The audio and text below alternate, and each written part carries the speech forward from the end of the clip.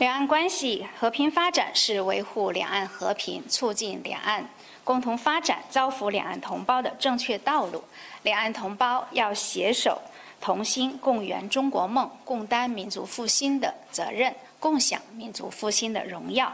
民进党当局顽固坚持台独分裂立场，勾连外部势力，不断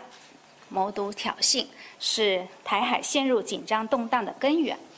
我们希望广大台湾同胞同我们一道，坚持一个中国原则和九二共识，坚决反对台独分裂和外来干涉，共同推动两岸关系和平发展、融合发展，共同维护台海和平稳定，共同致力于民族复兴伟业。